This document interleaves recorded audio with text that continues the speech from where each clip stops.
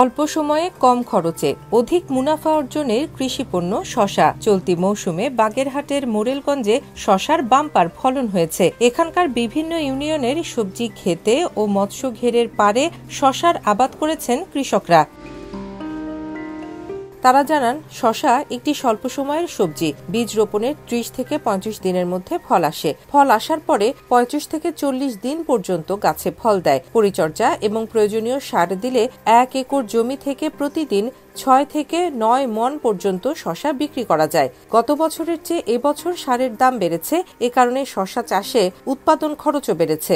আমরা সবাই কৃষিকাজ করি এবং এবার শশা আর মিষ্টি কুমড়া এইটা আমরা চাষ করছি। গতবার যেই তুলনায় আমরা দামটা পাইছি এইবার সেই দামটা নাই। কিন্তু ফলন মোটামুটি ভালো। ফলনে যা হয়েছে খারাপ হইতে না কিন্তু দামের দিক দিয়ে আমরা অনেক কম পাইতে পাইবি দেয় আমাদের অনেক ক্ষতি হইতে আছে। মানে সব সার কীটনাশক সব কিছুই দাম বৃদ্ধি কিন্তু সেই তুলনায় আমরা দাম পাইনি। শসা এবং মিষ্টি কুমড়া বাম্পার ফলন হয়েছে আমরা দামে কম পাই। আর সরকার যদি আমাকে একটু ব্যবস্থা করে তাহলে আমরা সার ঔষধে অন্য মেলা দাম। আমরা মিষ্টি কুমড়া এবং শসা চাষ করি এবং আমাদের ফলন হেভি ভালো হয়েছে মিষ্টি কুমড়া এবং শসা অনেক ভালো হয়েছে তবে আমরা এবছর গত বছরের তুলনামূলক এবছর আপনার দাম অনেক কম। কিরম আটশোশো টাকা মন ছয়শো টাকা চারশো টাকা আর কালকেরা বেচছি সাতশো টাকা আজকেরা ছয়শো টাকা।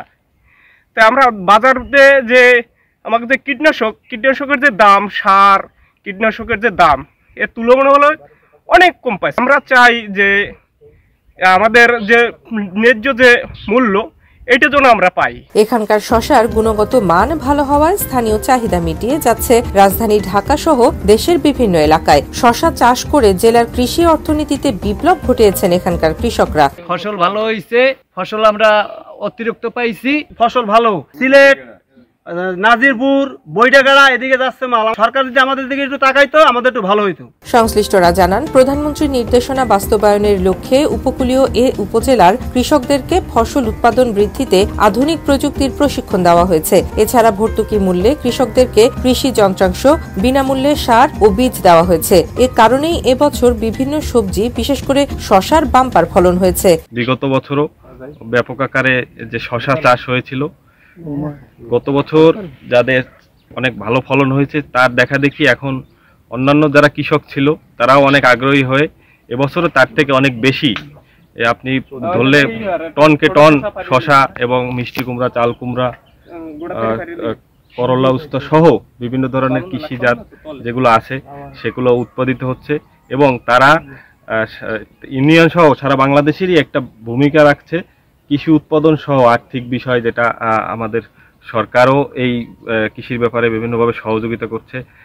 কৃষি অফিসার এসে এখানে সার বা ওষুধের প্রয়োজন আছে সে ব্যাপারে দেখভাল করে। তার পাশাপাশি আমরা ইউনিয়ন পরিষদ থেকেও এবার সেরা কৃষকদের বাছাই করে তাদেরকে পুরস্কার এবং সম্মাননার ব্যবস্থা করব। আমরা সেভাবে যাচাই বাছাই কার্যক্রম পরিচালনা করছি। তো আসলে বিগত দিনে যেসব কৃষি জমি পরিত্যক্ত ছিল এবছরে বিন্দুমাত্র জমি ফাঁকা নাই যেখানে গাছ নেই।